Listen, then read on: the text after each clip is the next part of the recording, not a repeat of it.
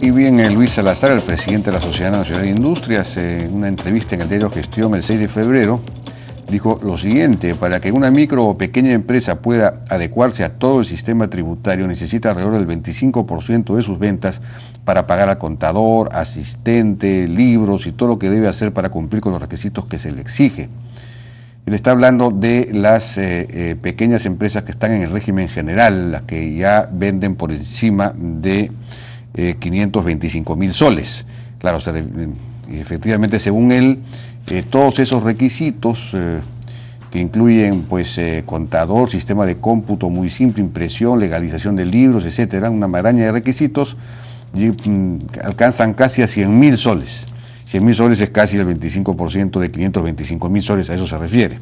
Bueno, estamos entonces eh, con el eh, señor Martín Ramos Chávez, que es intendente de la Intendencia Nacional de Cumplimiento Tributario de la SUNAT para hablar de este tema. Señor Chávez, buenas noches, ¿qué tal? ¿Qué tal? Buenas noches, Jaime. Gracias bueno, por la invitación. Gracias por venir. Ese es el tema. Eh, mm, están ahogadas entonces estas pequeñas empresas con esta cantidad de trámites y costos que tienen que sufragar para poder pagar impuestos.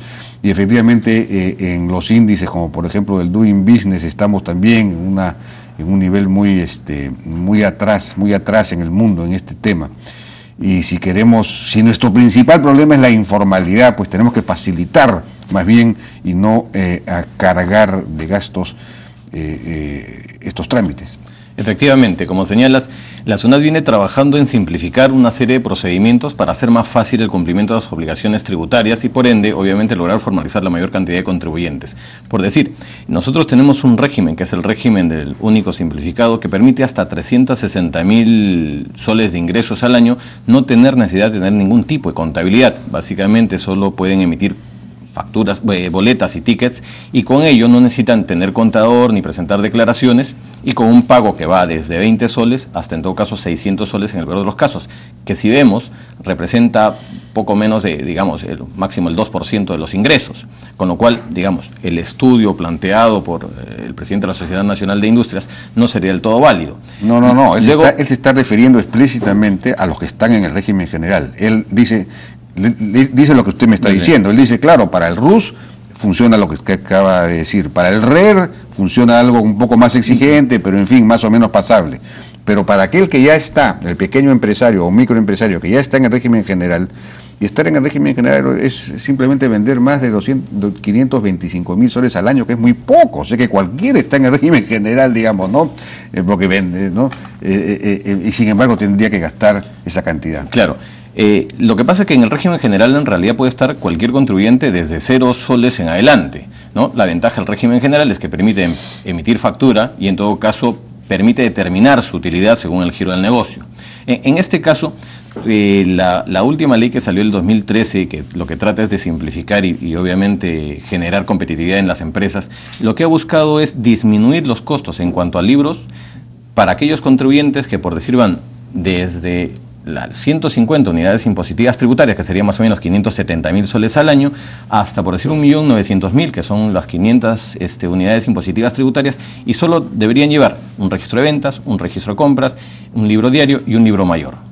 Entonces, de esta manera, lo que ha buscado justamente esta norma es simplificar estos costos que efectivamente se estudiaron que existían y con ello hacer más simple el cumplimiento. La misma norma lo que ha buscado es que se pueda, digamos, de alguna manera incentivar que se lleve la factura electrónica. Hoy la, la SUNAT tiene eh, el, producto factura electrónica tanto en el portal, que es totalmente gratuito los 365 días del año, y que lo que garantiza y permite es que se ahorre tener registro de ventas. De esta manera las empresas lo que van haciendo es simplificando estos gastos, porque ante ello no es necesario legalizarlo, no hay que pagar el contador para llevarlo, porque la propia, digamos, el propio sistema permite ¿no es cierto?, emitir los comprobantes de pago y guardar ese registro que el contribuyente lo puede tener en la SUNAT. También, ya luego para los más grandes, la eso, pero eso lo están haciendo muy pocas, me imagino. ¿Cuántas, eh, ¿Cuántos han...? Bueno, lo que se ha comenzado a trabajar es obviamente con una campaña incentivando de alguna manera a las pequeñas empresas o medianas empresas para que se vayan acogiendo a este sistema. Es cierto que todavía existe cierto temor. Eh, este producto en la región ya se usa bastante en Chile, se usa bastante en Brasil o en México.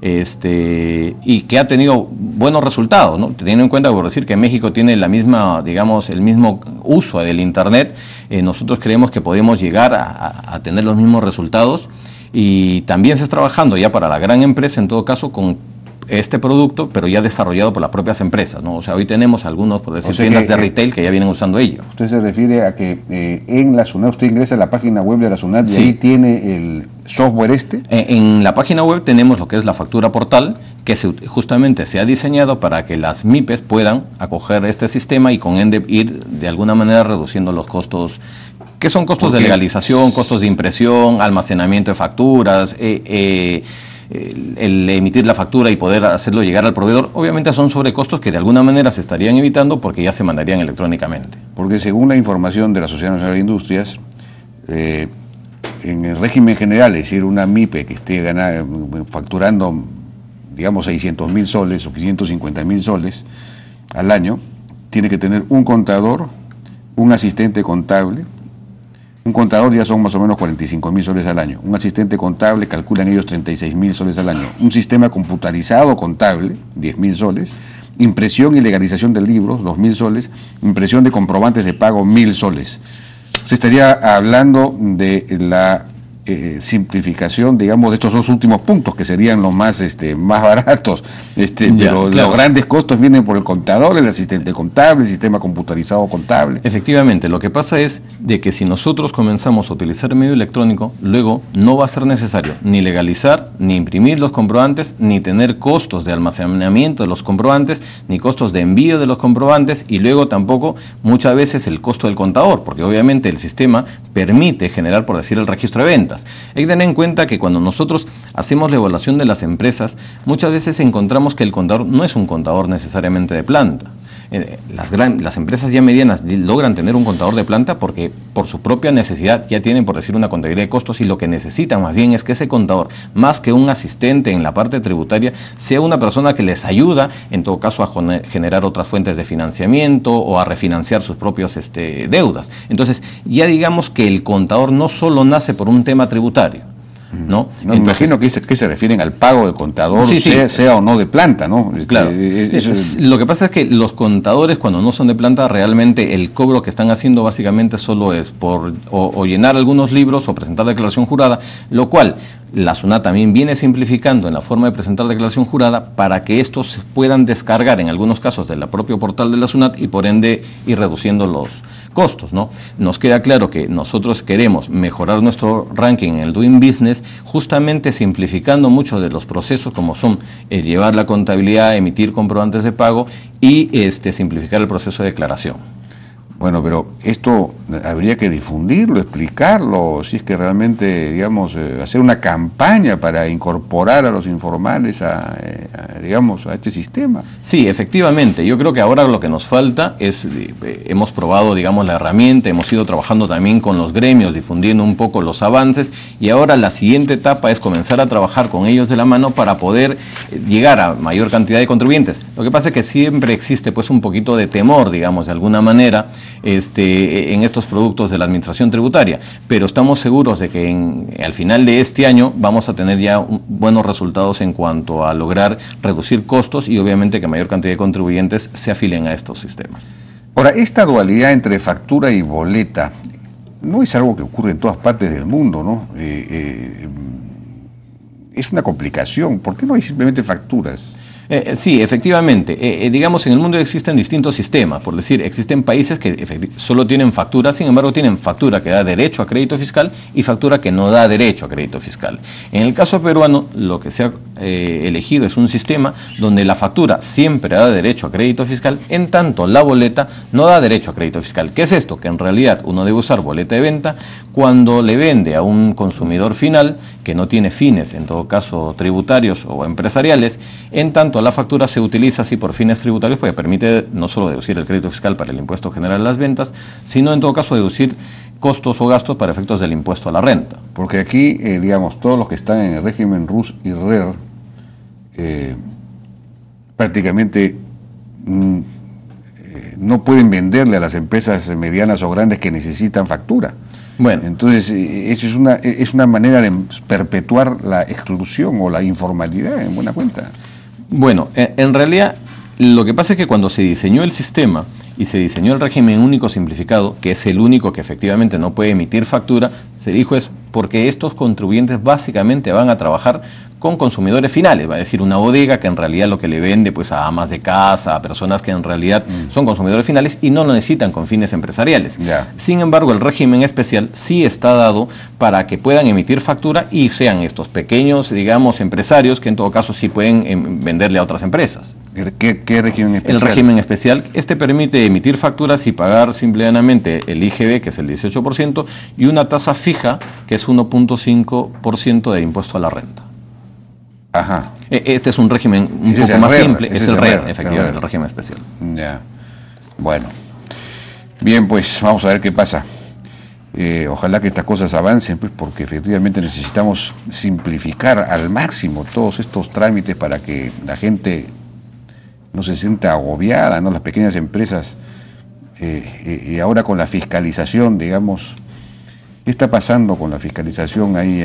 porque lo mismo está ocurriendo en ese terreno laboral, hay una serie de exigencias ahora, nuevas leyes laborales en, términos de seguridad, de salud, etcétera, que suponen unos costos y sobrecostos que las empresas no pueden abordar, ¿no? Y en la medida en que la SUNAT se ha puesto, digamos, ha decidido ampliar la base tributaria, está presionando también a la pequeña empresa y a la micro y pequeña empresa. Pero si los requisitos son muy fuertes, además los niveles de, digamos, un 18% sigue siendo muy alto, pues dije, vean, que eso ya la FUNAT no tiene potestad sobre eso. Entonces, eh, eh, muchas empresas que quieren formalizarse no lo pueden hacer. Este, sí, ahí la, la, ley que también salió el año pasado justamente pudo recoger esta problemática y lo que ha permitido es, se hizo una evaluación, cuáles eran las principales, por decir, infracciones tributarias y, también la ley recoge infracciones laborales que cometían los contribuyentes, básicamente los pequeños y, microempresas. Entonces, le ha permitido que durante los tres primeros años no se sancione si el contribuyente no presenta la declaración en el plazo establecido o presenta la declaración incompleta o presenta más de una declaración rectificatoria o también si por decir remite eh, bienes sin la guía de remisión. La norma lo que permite es que en un plazo que la SUNAT le dé al contribuyente, él pueda regularizar sin tener que pagar la sanción. Mm. Porque la evaluación efectivamente decía es que los primeros años por una serie probablemente de desconocimiento y a veces un poco de complejidad de la norma tributaria, muchos de estos contribuyentes cometían estas irregularidades o estas infracciones. Entonces la norma les permite durante los tres primeros años este, poder, este, digamos, no ser sancionados. ¿no? Ahora, la SUNAT en ello viene trabajando con el fin de difundir ello este, para que los contribuyentes, digamos, tenemos tres años para que ellos entren como en vereda y ya tengan todo más en orden y ya no cometan este tipo de, sanciones. ¿no? Bien, señor Martín Ramos, muchas gracias por su no, participación. Muchísimas gracias a usted por la invitación. El eh, intendente de la Intendencia Nacional de Cumplimiento Tributario. Vamos a una pausa y regresamos ahora con Álvaro Ríos para ver el tema del gasoducto del sur. ¿Es o no viable considerando las reservas que hay? ¿Hay o no hay suficientes reservas probadas para sustentar el gasoducto del sur? Regresamos.